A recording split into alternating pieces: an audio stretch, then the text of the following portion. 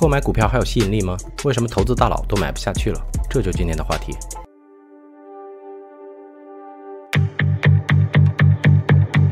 二零零八年，美联储为了挽救美国经济，实施了惊人的量化宽松货币政策，资产负债表迅速膨胀。二零二零年，美国再次向市场注入流动性，截止到现在，美联储已经向全世界注入了四万亿美元的流动性。尽管美联储主席鲍威尔一直说服市场，通胀只是短期现象，但是经济数字却显示出美联储的预期过于乐观。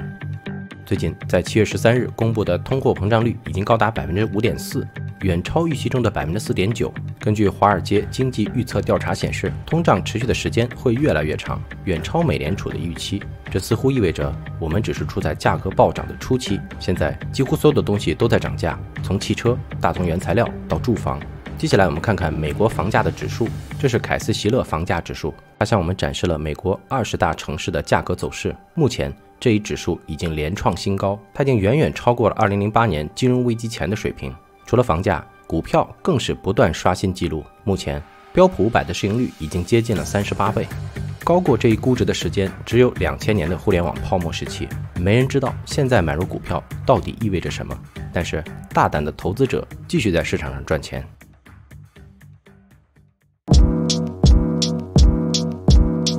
目前在市场上有着几种趋势。首先，第一，对大型科技公司的监管越来越严。全球都试图挤压大型科技企业的超额利润。最近，G20 国家对全球跨国公司征税改革达成一致。如果百分之十五的最低税率落地，那么全球一百大科技公司需要多支付一千五百亿美元的税费，这是一个超级巨大的数字。要知道，现在苹果才支付了一百亿美元的税费，而亚马逊才支付了三十亿美元。那么，如果百分之十五的税费落地，投资人是否会重新对科技公司估值，谁也不知道。在大洋彼岸的中国，面对科技巨头也毫不手软。反垄断监管始终是投资人面对的最大政策风险。就连一向看好中概股并重仓中概股的方舟基金，最近也在不断的减持中概股。就在最近，女版巴菲特之称的凯瑟琳·伍德发出警告，说中概股会面临估值重构。他说道：“从估值的角度来看，他们的股价下跌了很多，但是似乎还会下跌。”二，除了科技公司，市场上也出现了明显过热的板块。被称为 ESG，简单来看就是 environmental 环境、social 社会以及 governance 治理的缩写。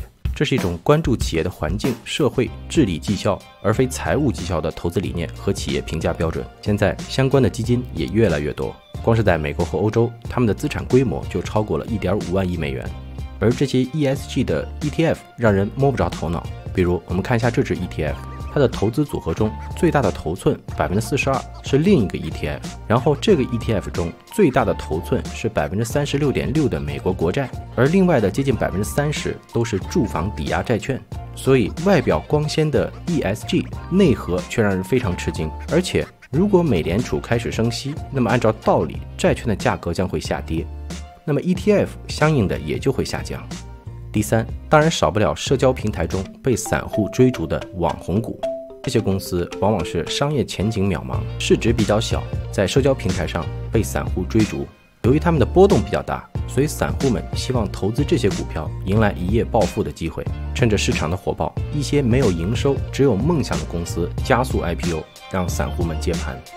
第四，就是风格切换。最近几年。引领美股上涨的主要动力是脸书、苹果、亚马逊、奈飞、谷歌、微软、特斯拉等巨头，而这些公司的权重也来到标普五百的百分之二十一。从市盈率的角度来看，科技股的估值区间已经来到了三十倍到六十五倍，这意味着投资人需要三十年到六十五年才可以收回成本。但似乎呢，投资人根本不在乎这些。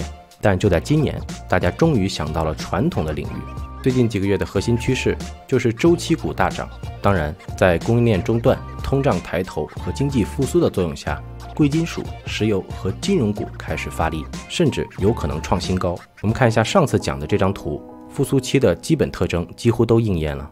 那么，面对市场估值如此之高，大佬们都有什么看法？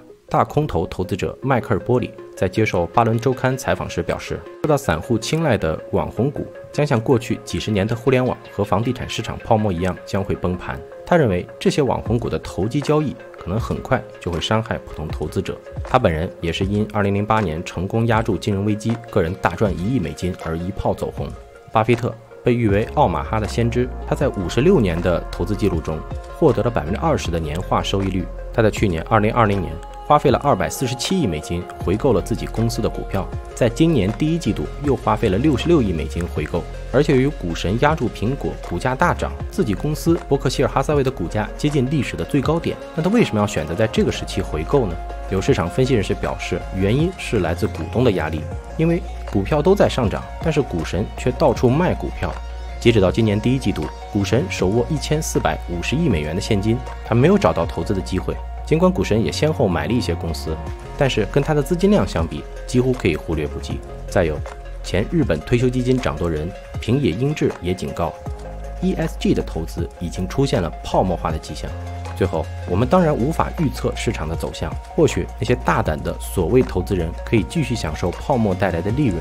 但是，作为我们要清楚自己所处的位置，在一个信用宽松、资产价格膨胀的周期中，我们应该时刻保持警惕，要适当的增加现金的储备。